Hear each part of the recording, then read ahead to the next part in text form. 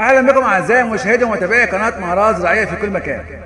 النهارده إن شاء الله هتكلم عن كيفية العناية بالنباتات المنزلية في فصل الشتاء من حيث طريقة الري، التسميد، آه، التعرض للاضاءه، التعرض لتيارات البرد أو تيارات الهواء الباردة، كذلك أهم الأمراض وطريقة علاجها.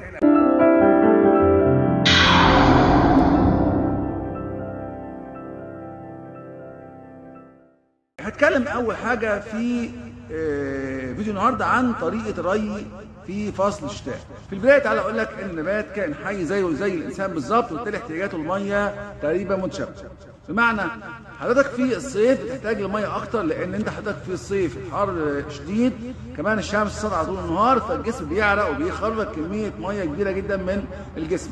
فبالتالي بيحتاج يعوض المية ديت عن طريق الشرب في الشتاء العكس.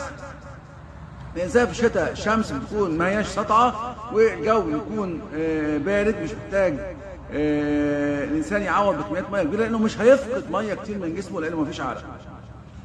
نفس الكلام النبات. النبات في الصيف مع الحر الشديد والشمس المباشرة خاصة للنباتات الخارجية آه، بيبدأ يفقد جزء كبير جدا من الميه عن طريق عملية النتح اللي بتكون عبارة عن صخور موجودة على سطح الورق بتاعة النبات وبتطلع الماء ده عملية تلطيف للاوراق عشان الاوراق تقاوم الحر والجفاف.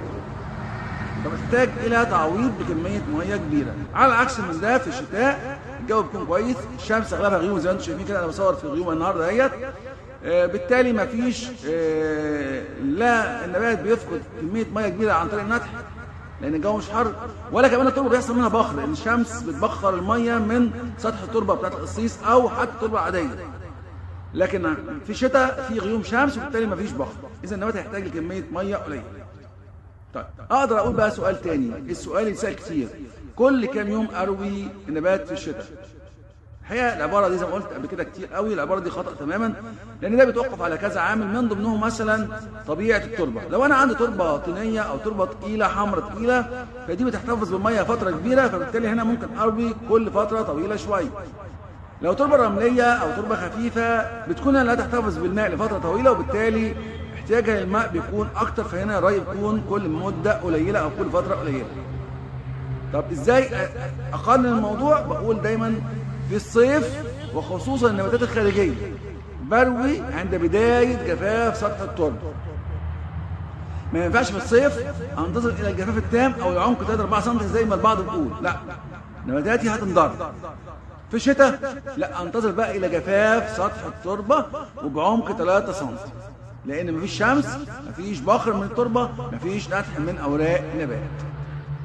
وخصوصا النباتات الداخلية بالذات. لازم اتاكد تماما إن التربة جفت عشان أعمل عملية ري لأن زيادة الري هتؤدي إلى مشاكل كتير من ضمنها انتشار اعفان الجذور انتشار الأمراض الفطرية. كمان بتبدأ الأوراق تصفر وخاصة طرف الورق من قدام كده يبدأ يصفر ويدبل ويبدأ ينشف. ده زيادة رطوبة أو زيادة ماء. كما عن التسميد تاني حاجة في نقطة مهمة لازم أعرفها. إن في بعض النباتات أو الأشجار اللي هي متساقطة الأوراق اللي هي بتيجي في فترة الخريف والشتاء بتسقط أوراقها دي بتخش في طور سكون كامل وبالتالي احتياجها للمية قليل وبالتالي لا تحتاج إلى تسميد ابدا. ممكن فقط بس في ميعاد معين بضيف لها وغالبا بيكون في شهر واحد بضيف لها السماد العضوي حوالين النبات. طبعا يكون سماد عضوي تام التحلل لكن بالنسبة بقى للنباتات المستديمة الخضره اللي هي ما بتسقطش اوراقها لا في الخريف ولا في الشتاء دي مهمة جدا إن أنا اسمتها في فترة الشتاء. لكن طبعا احتياجاتها في التسميد هتكون برضو قليلة شوية. ليه؟ لأن هي برضو تكون في حالة من السكون كمان أنا بروي كل قد إيه؟ مثلا كل أسبوع أو كل 10 أيام حسب نوع التربة عندي أو كل أربع أيام حسب نوع التربة عندي سواء كان نبات خارجي أو داخلي سواء كانت تربة ثقيله أو خفيفة. فهنا برضو احتياجي للتسميد بيكون مع الري فبيكون برضو كل فترة طويلة شوية عن الصيف لكن مع الأخذ في الاعتبار إن في نباتات كتيرة جدا نشاطها كله في فترة الشتاء زي الحوليات المزهرة شتويا. كل ده بيحتاج لنمو في فترة الشتاء وبالتالي بيحتاج إلى آه، سماد فترة الشتاء. طيب اسمد إيه رقم واحد الجا للسماد العضوي. يا إما اسمد سماد عضوي. تعمل تحلل وأعمله في التربة. أضيفه للتربة؟ لو عندي قصيص بضيف له حوالي معلقة كبيرة لو طبعا نباتات كبيرة أو اشجار كبيرة ممكن أضيف هنا لكل شجرة حوالي 3 4 كيلو حسب حجم الشجرة. ممكن انقعه في مية وأضيفه عن طريق الميه وطبعا في فيديوهات عن منقوع السماد العضوي موجودة على القناة. طيب لو ما عنديش سماد عضوي تاني بديل عندي السماد الطبيعي اللي هو كل منقوع النباتات الموجودة عندي سواء كانت بقايا نباتات في المطبخ أو أي بذور نباتات موجودة عندي بنقعها وبستخدمها كسماد طبيعي بدون أي أضرار في الشتاء. وطبعا في أمثلة كثيره جدا جدا عليها في القناه طيب لو ما عنديش ده أو ده ومش عارف أتصرف أقول لك الجا دايما للحاجه اللي هي متاحة واللي هي بتاعت أي حد مبتدئ أو ما عندوش خبرة من ناحية التسميد اللي هي ال بي كي المتوازي. ال 20 20 20 أو 19 هتاخد منه 2 جرام هتضربهم في لتر مية وتسقي النبات بحسب احتياجه. يعني النبات لو خد نص كوباية ماشي كوباية كاملة ماشي خد اللتر كله ماشي خد 2 لتر مفيش مشكلة خالص. هتكلم بقى على ثلاثة الاحتياج للإضاءة. أي نبات في الدنيا بيحتاج الإضاءة عشان يتمم عملية البناء الضوئي اللي بينتج منها الطاقة والغذاء اللازم لحياة النبات. يعني بدون ضوء مفيش بناء ضوئي مفيش طاقة مفيش غذاء. لازم نعرفها كويس جدا. وبالتالي عندي الشمس في الشتاء بتكون غالبا في حالة غيوم.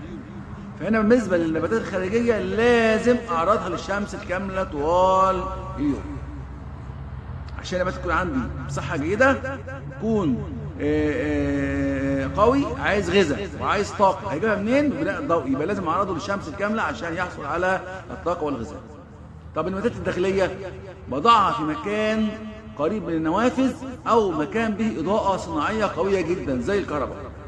المهم أوفر له ضوء قوي عشان يكمل عملية البناء الضوئي. طالما اتكلمنا عن النباتات الداخلية وقلنا إن هي بتتحط في مكان بالقرب من النافذة بس خد بالك مهم جدا اخد بالي بقى من رابع نقطة تيارات الهواء.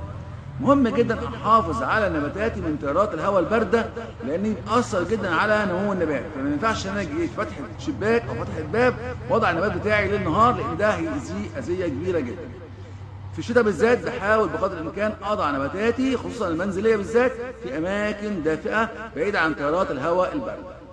طب لو أنا مشغل تكييف أو المكيف زي أخواتنا الخليج فبقول هنا بالنسبة للتكييف أو المكيف ابعد عن تيارات الهواء الدافئ لأن هي بتكون خالية من الأكسجين وبتكون جافة ودي بتأذي النبات. نيجي بقى على آخر نقطة مكافحة الأمراض. هنقسم المكافحة دي لقسمين اثنين، أول حاجة بالنسبة للأمراض الفطرية ودي منتشرة في الشتاء بكثرة، لو متوفر عندي كبريت ميكروني وده أرخص مبيد فطري موجود في السوق التجاري أه بشتغل أه منه 2 جرام ونص يعني نص معلقة صغيرة في لتر مية وارش بقى نبات كل 15 يوم كوقاية من جميع الأمراض الفطرية وكمان بيبقى وقاية ضد الاكروسات أو العنايه وكمان برضه بيمنع أه توافد أو اقتراب الحشرات زي الذبابة البيضاء كل الحشرات الطايرة. لأنه بيعمل عملية كده طبقة أو فيلم كده على الورقه بتمنع اقتراب هذه الحشرات من الاوراق طب لو ما عنديش كبريت ميكروني هقول لك هات بيكربونات الصوديوم أو صودا الخبيث أو بيكربوناته وبرده نص معلقة صغيرة على لتر مية ورش النبات بتاعك كل 15 يوم. أو معلقة كبيرة من الخل ورش نباتاتك كل 15 يوم. ممكن تعمل تبادل بين الثلاث منتجات دول. أول ما مش موجود عندك اشتغل بالبيكربونات وبالخل فقط. تاني حاجة بقى الأمراض الحشرية. الامراض الحشريه في الشتاء بتبقى أغلبها يا إما العناكب يا إما الحشرة القشريه أو البق الدقيقي. بيبقى شوية الذبابه بتقل شوية في الشتاء عن الصيف. ممكن من عموما أنا بقول تعمل اللي أنا أقول لك عليه ده. معلقة كبيرة خل خل طعام موجود في البيت عندك. ومعلقة صغيرة من الصابون السائل معلقة صغيرة من آه زيت الطعام أي زيت حتى لو مستعمل. كل ده هضيفه على لتر ميه. وبترش بيها النبات كل 15 يوم مرة. بكده يكون عملنا وقاية للأمراض الفطرية وكمان كافحنا الأمراض الحشرية. بكده يكون وصلنا لنهاية الفيديو. شكرا لحسن استماعكم والى لقاء في فيديو آخر إن شاء الله.